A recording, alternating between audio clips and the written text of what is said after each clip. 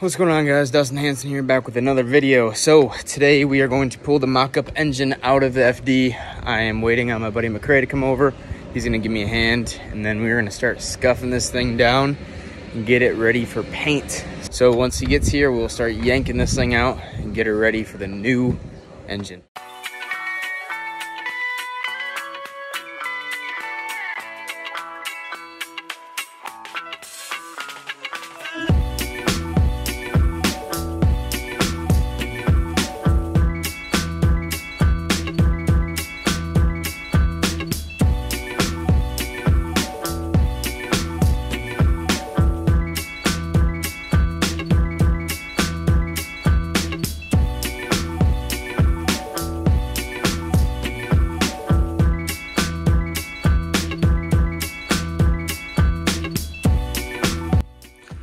Right, guys, the mock-up engine is out of the car. We got everything we need from her. She did a good job, but it's time to move on to the real engine, which I'll be getting on Saturday. So I'm pumped for that. We are trying to get this thing uh, prepped and ready to rock and ready for its real engine. Um, I must say, guys, it is so much easier to remove this engine with the cannon plugs. Literally two just quick snaps and then as soon as you get the two motor mounts out and the transmission bolts it makes it so much easier. It literally took us maybe five minutes to get everything undone. So that is definitely a big plus and it looks a lot cleaner. We are going to start working on prepping the bay. I already started taking stuff off the firewall. I need to take those cannon plugs coilovers tape these holes shut all that good stuff we're gonna scuff everything down, sand it down, and get it all nice and smooth and ready for paint. We will go ahead and cover all of our wires with some aluminum foil. That way they don't get a bunch of red overspray on them. Same thing, tape our subframe, cover anything up with aluminum foil, all these fuel lines, even though those are getting replaced, but cover everything up. That way it doesn't get a bunch of overspray on it. And we will get to spraying, so let's start sanding it down, get the bay prepped and ready for paint.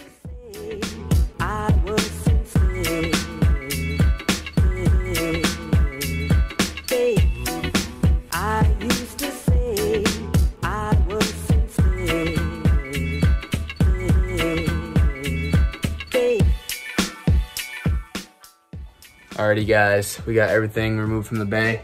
We need to go through and we need to bondo over a couple things. We need to grind this plate down that I welded in and we are gonna weld up a couple more holes and we need to grind some stuff down, but we are just about ready to rock with this thing and start sanding and getting it prepped. I wanna paint it by the end of today, which will be obviously in this video. But uh, for now, we need to go change some clothes, get some junk clothes on. Speaking of this hoodie, uh, shout out to my boy Mario Jaga over at RX7, RX8 Fanatics Club. This hoodie is by far one of my favorite hoodies right now. It is a dope. It's got all the sponsors in the back. I'm not gonna be able to show you guys. Nope, not happening. It's got all the sponsors in the back though. It's a dope hoodie. Um, it's nice and fuzzy. So shout out to Mario. You hooked it up with a hoodie. It's comfy. Did a great job, man. Uh, let's go get changed into some junk clothes so we can start sanding down this bay, get it prepped, and spray it.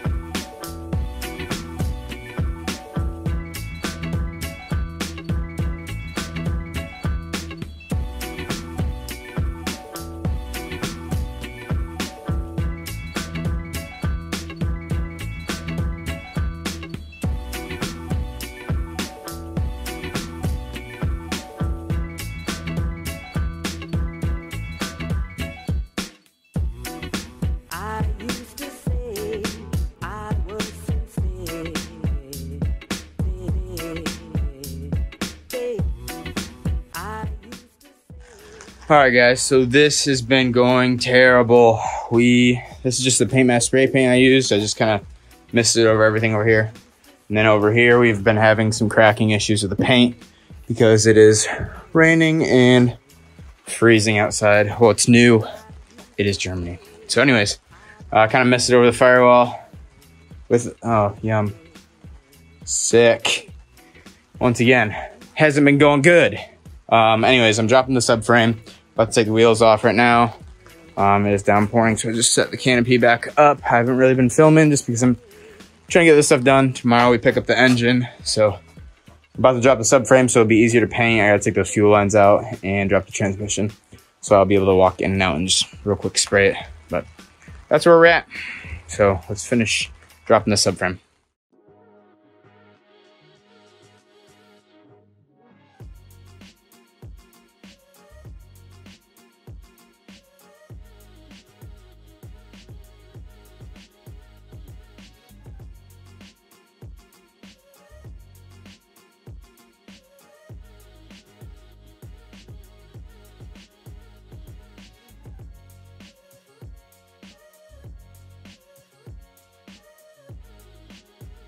All right, guys, so we dropped the subframe and taped everything up down there. Uh, now we are just gonna work on dropping those fuel lines. Uh, I need to replace those anyways. I have dash 8 feed, dash 6 return I need to hook up. But I'm kind of just working on getting the car running. And those would be a lot easier to do when I can bring it onto a lift. But for now, this is what we're doing. This is gonna make it a lot easier to sand. I could just sit right there and sand everything down. So that's what we're gonna work on, sanding. Fun stuff. Alrighty guys, day three. Ooh, got the heater going, heating up the garage. Got all the wires covered. We got the fuel lines covered with some aluminum foil, tucked out of the way, transmissions, garbage bag. Got everything scuffed down and wax and grease remover. Um, so everything is ready to be sprayed. We're gonna mix up our epoxy primer and get to spraying this engine bay so we can get this thing painted by the end of the day. So let's get to it.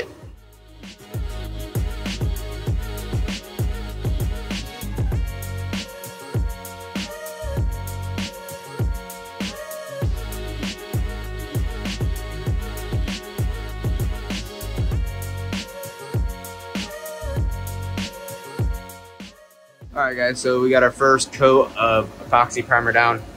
Didn't come out too bad. We are gonna clean our gun out and then we're gonna do one more coat.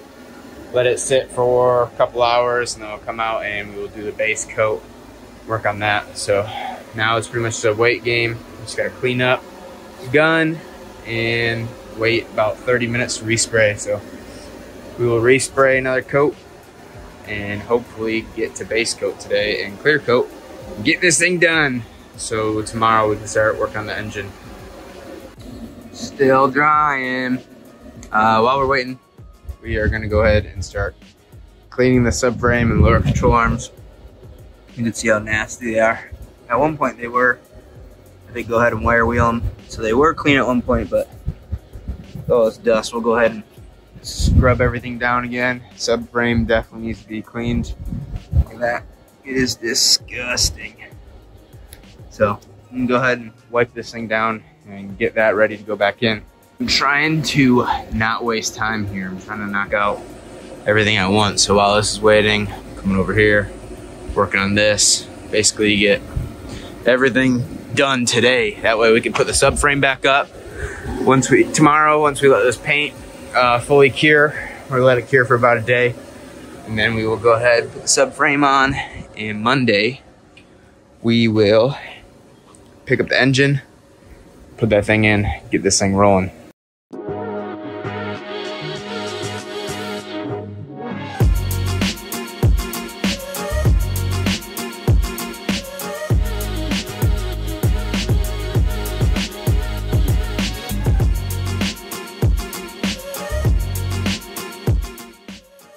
Second coat down, it is looking good.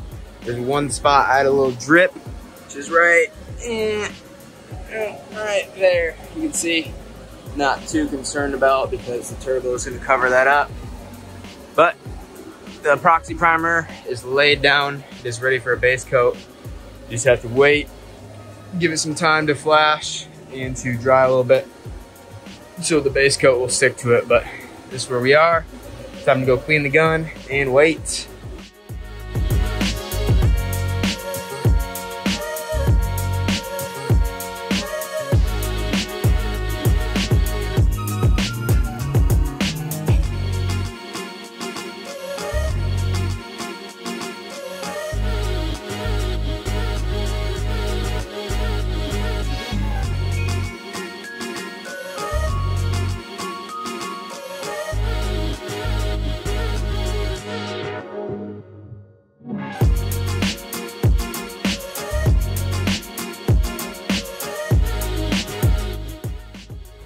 Alrighty guys, so we're about to roll out to a barbecue, but I have some bad news.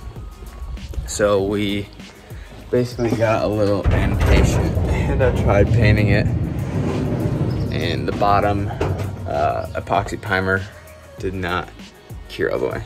And bam, so you can see on the corners basically it started flashing with the red paint over top of it and it wasn't fully cured. So yeah, look at that. Peeled all that off. Now it's, it still needs some more time to cure. Still slightly tacky. But tomorrow we're gonna have to go over this and sand it down and redo it because I didn't want to wait five hours for this stuff to cure. So be patient when you paint because I wasn't. And look what happened. My nice paint job's ruined. This stuff came out pretty good. Obviously you can see none of it has a clear coat on there, but came out pretty nice. But everything else didn't. So now I just have to go ahead and re wet sand all of this down once it's fully cured. Yeah, this is trash. Live and you learn. Be patient, wait the cure times. Don't be like me. So, until next time, we'll see you guys tomorrow.